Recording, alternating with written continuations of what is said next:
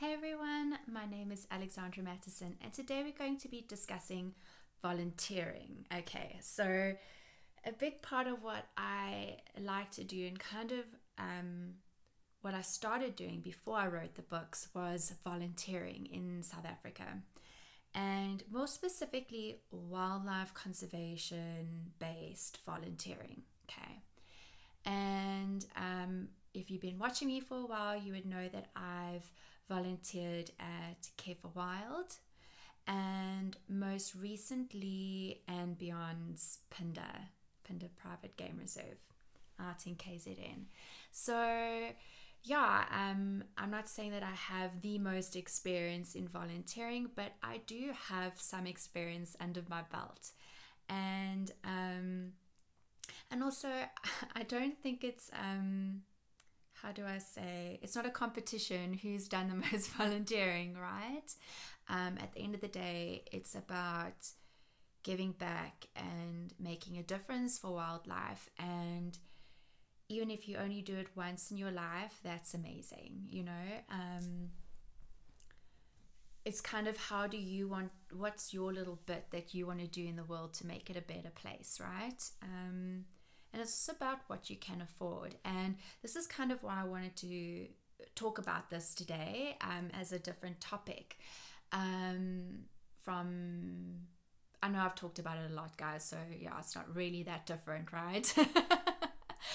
um, but yeah, so basically, earlier this year, um, I was interviewed and we talked a little bit about volunteering and I gotta say, like, I, I understand that if you're coming from overseas, you've also got that expense of flying um, over, and then you know you don't have your own car here, so you might have to pay for transport to the sanctuary or or whatever, like you know stuff like that.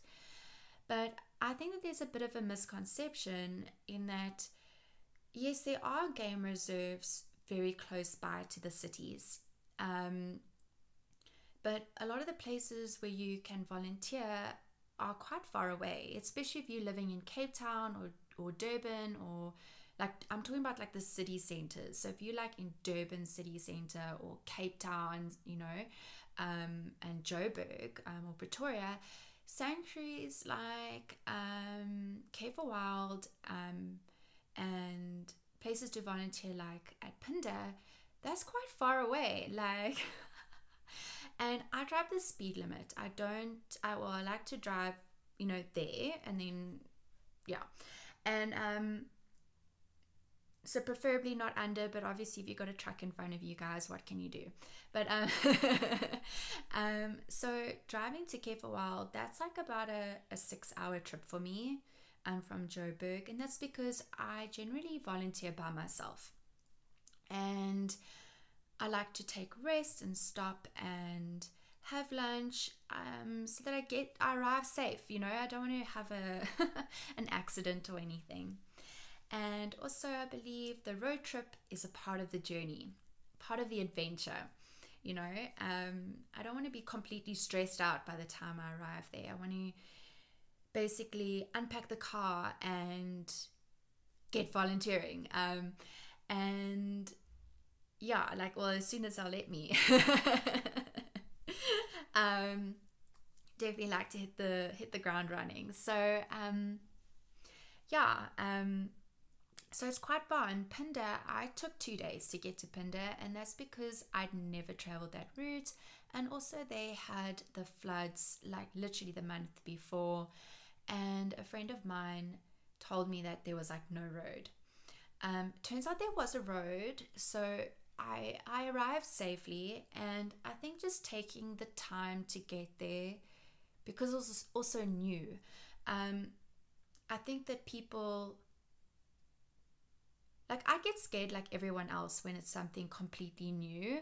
And in order to ease myself in and face that fear of this new journey um, I was embarking on by myself, um, I just took two days you know, I took it easy. Um, but would I take two days again?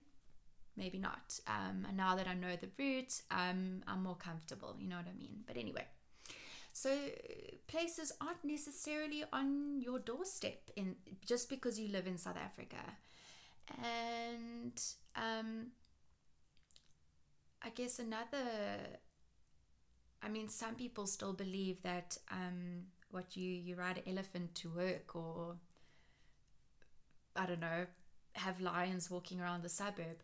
But they're not completely wrong because in the urban areas you do find wildlife and you do get um, i'm very i'm digressing here guys but yeah i mean we at my mom's house she has a genet um, which is wildlife um, that comes into her garden um, at night and um, it's been known to have porcupines and all of that um, walking because we've got um, rivers that run from like the cradle of humankind through Johannesburg and stuff like that. And they use those natural routes that we've kept because you know you can't really, you know, not a good idea to build too close to a river. Um, anywho's i'm really digressing guys i'm sorry. But um yeah it's so as much as we have wildlife in the urban area we don't have like lions okay? As soon as we put up fences these fences separated people from the animals and these fences also created a disconnect quite substantially in this in in I would say access to that wildlife once those fences went up as well, which is uh, so the fences are good in a sense of that human wildlife conflict has now been there's like that assistance there, um, keeping the wildlife away from the people so that there's no um, conflict there. But the issue is is that to go to a game reserve can be very expensive. And it's a luxury that most South Africans and the majority of South Africans can't afford, especially private game reserves.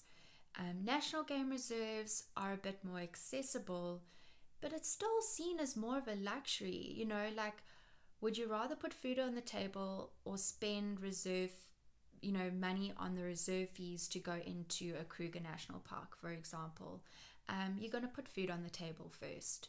So there is that disconnect as well. And volunteering, even though it is cheaper to volunteer than go stay at a private game reserve, it obviously isn't a cheap safari. That is very important to know, guys, because when you're volunteering, you're there to perform a specific function, okay, as part of the conservation efforts of that game reserve or sanctuary.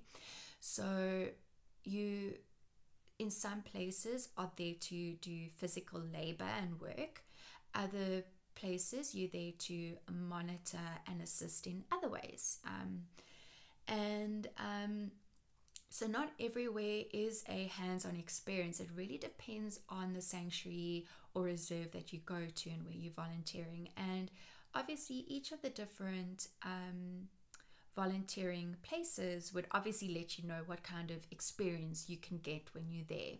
Um, also, through other volunteers' testimonials and stuff like that. So, if you're interested in, in volunteering in South Africa, which I highly, highly suggest, I mean, getting to see up close like pangolins, uh, rhino, um, is just incredible. Um, I wouldn't change it for the world. And, you know, I basically work at a normal nine to five um, job, which helps me to fund my volunteering that I do. And I also use all not all my annual leave, but a majority of my annual leave actually goes towards um, this this passion of mine.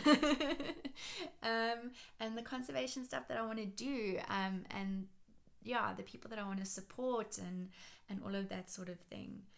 Um, so I hope that I've not completely confused you and I've kind of highlighted to you that just because I'm in South Africa doesn't make it necessarily easier for me to volunteer.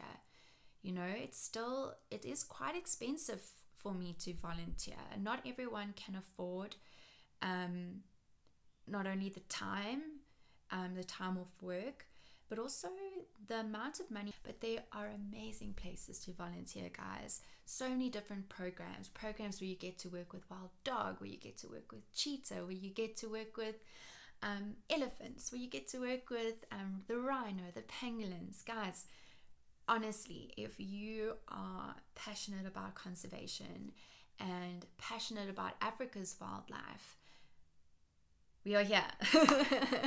we are here, but we understand that flights are expensive and all of these things. Um, but don't think that we it's it's so much easier for us because it it is hard for us to also do it. Um, we're in we're pretty much in the same boat, but the journey's a bit um, takes a little bit less time for us to get there, I guess. Um, but we also got the fuel problem, the petrol prices. but enough complaining about that. Um, but yeah, I'm going to put some links to the places where I volunteered and then places that I also support. Um, because recently, through my Wild Dog um, uh, poetry art piece that I've done, the Wildlife ACT guys also have an amazing um, volunteering program, and that's where the Wild Dog comes in. So, yeah, definitely on my bucket list of where I want to volunteer. Um, but yeah, I miss the rhinos. So it's like Care for Wild. Um, and then Phinda was absolutely amazing, guys. Honestly, the experience was incredible. Sure. but yeah, as soon as I know where I'm volunteering next, I'll definitely let you know. But yeah, um, you don't have to volunteer to to do your little bit. There's other ways that you can do play your part in saving wildlife, um, in conserving nature and conserving the wildlife for the next generation. You know, there's other ways that you can play your part. Don't feel that if you don't have an enormous amount of funds to, you know, to do something, you can't.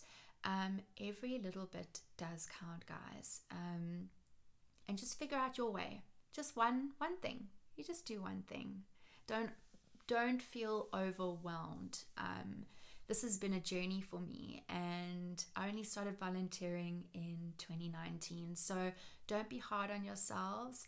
But if you are able to financially, you have the time, do it. Do it. You it's amazing. It's honestly so so so amazing and rewarding as well. So, thank you guys. Thank you for following my journey, for listening to my journey and me babbling on. Very cool. Thank you guys. Okay, bye.